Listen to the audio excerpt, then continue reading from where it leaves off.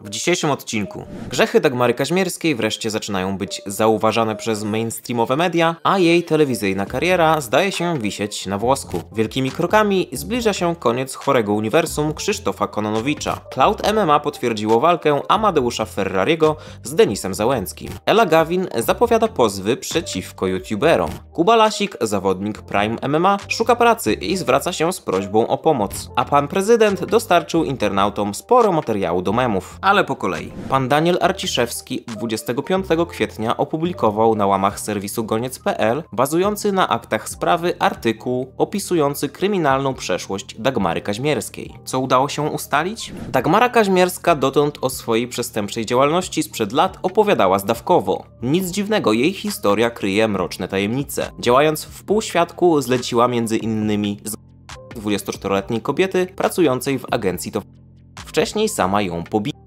zabita, zgwałcona i przymuszona do prostytucji, Maria A. mierzyła się później z myślami Kobieta pomimo choroby nowotworowej i przerzutów była też zmuszana do korzystania z solarium. Za te wykroczenia Dagmara Kaźmierska została skazana na 3 lata pozbawienia wolności. Odkąd Dagmara Kaźmierska pojawiła się w Tańcu z Gwiazdami i dostała swój własny program na antenie TV4 pod tytułem Dagmara szuka męża, o kobiecie zaczęło być coraz głośniej wśród internautów. Ludzie nie mogli zrozumieć, dlaczego osoba, która ma za sobą tak mroczną przeszłość, jest promowana przez telewizję, jednak z jakiegoś powodu nic w temacie się nie działo, aż do momentu opublikowania wspomnianego na początku artykułu. Jak widać, przyniósł on efekt, bowiem Polsat już ogłosił, że zdejmuje program Dagmary ze swojej ramówki. Najprawdopodobniej nie wystąpi ona również w finałowym odcinku Tańca z Gwiazdami. Co więcej, program na temat Dagmary Kaźmierskiej zdaje się przygotowywać Krzysztof Stanowski, który w związku z publikacją w serwisie goniec.pl dodał taki wpis na swoim Xie. Z jednej strony żałuję, że ten tekst uprzedził mój program, ale też zdecydowanie polecam. Oto z kogo dzisiaj media robią bohaterów. Wielkie gratulacje dla Polsatu, że zdołali taką gwiazdkę skaperować do tańca z gwiazdami. Gdy o tym niedawno pisałem, to usłyszałem, że w życiu każdy zrobił coś głupiego. No spoko. Jak możemy przeczytać, Krzysztof pisze o uprzedzeniu jego programu, więc możemy założyć, że taki program powstaje i ujrzy światło dzienne, prędzej czy później. Raczej prędzej.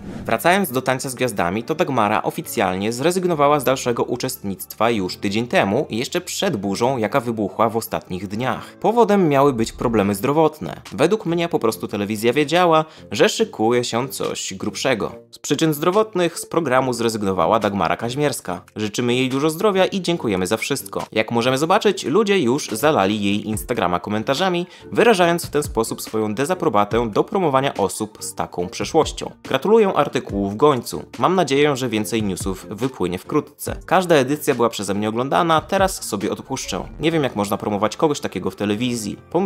O ofiarach tej osoby. Jak tam porywało się kobiety? Mam wrażenie, że niebawem możemy poznać jeszcze więcej faktów z przeszłości pani Dagmary, chociażby za sprawą filmu Krzysztofa Stanowskiego. Pozostając w temacie treści i osób, które nie powinny być promowane w mediach, okazuje się, że chore uniwersum Mlecznego Człowieka, czyli Krzysztofa Kononowicza, również może niebawem spaść z rowerka. Na w cudzysłowie jego kanale, który na bieżąco śledzi kilkadziesiąt tysięcy osób, zostało opublikowane krótkie oświadczenie. Tutaj króciutka przerwa. Chciałbym Cię zaprosić na swojego Instagrama, którego buduję od zera.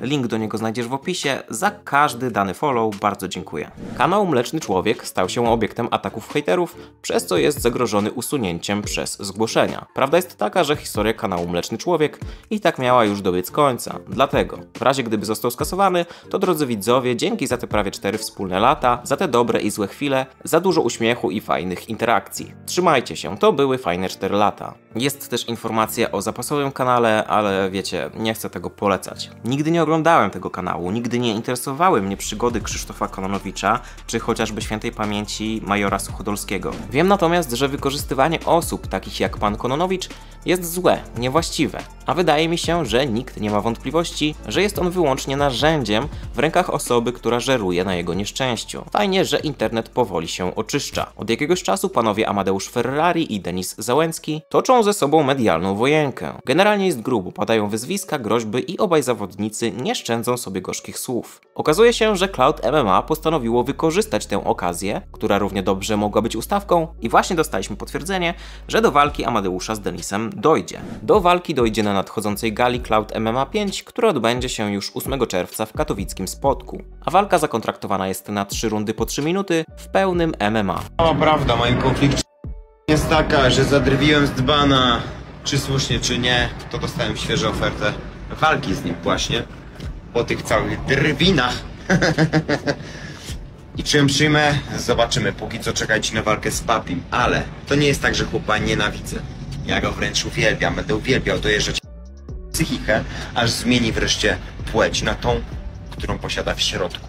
Bo dobrze wiem, że w środku jesteś kobietą, bo jestem taki, że jak spojrzę komuś w oczy, to widzę jego duszę.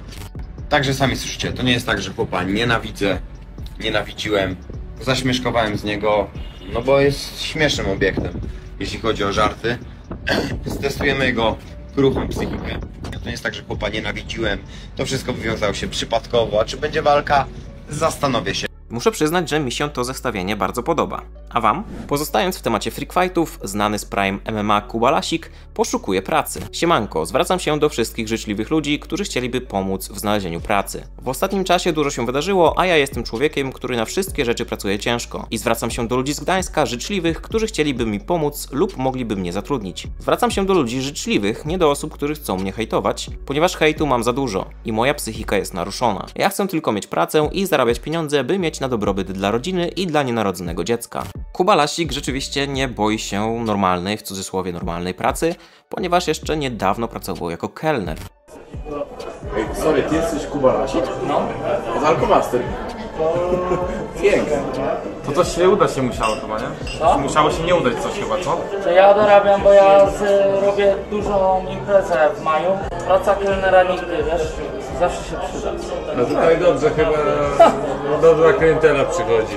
Wygląda na to, że pieniądze, jakie Kuba dostaje z Prime'u, nie wystarczają na zapewnienie godnego życia jego rodzinie. Ella Gavin, jedna z obecnie najbardziej kontrowersyjnych streamerek, zapowiada, że pozwie innych twórców, którzy wypowiadali się na jej temat w nieprzychylny sposób. Na swoim Discordzie dodała taki wpis. W stosunku do osób, które szkodzą mi dłuższy czas, wystąpią o wyższe odszkodowania. Pozwie przeciwko Lannelowi za naruszenie moich dóbr osobistych i szkodzenie zażądam 15 tysięcy złotych. W pozwie przeciwko Warnestowi za stalking 20 tysięcy złotych. Każdy pozew z powództwa cywilnego to też koszty prawnika, koszty sądowe, grzywny i tym podobne. Gniotek, Spysiński, Sierżant Bagieta i inni im podobni też dostaną ode mnie pozwy sądowe z czterema zerami. Nawet zwykli użytkownicy mojego Discorda też nie są anonimowi. Policja może każdego znaleźć po dostawcy internetu. Porozmawiamy o tym na głosówkach i kolejnych live'ach. Potrzebują tylko pieniędzy na te działania. Prawnicy nie pracują za darmo, a potrzebują ich kilku. Jeżeli nie wiecie, kim jest Ella Gavin, to serdecznie polecam obejrzenie materiału na kanale Damy Kier. Świat internetu również wypuścił bardzo fajny film na jej temat. Warto się zainteresować. I na koniec internet obiegł filmik z reakcji naszego pana prezydenta na expose, jakie w Sejmie wygłosił pan Radosław Sikorski, minister spraw zagranicznych. Zresztą po tym posiedzeniu nie tylko prezydent stał się po raz kolejny obiektem memów, pan Sikorski jest często porównywany do sami wiecie kogo.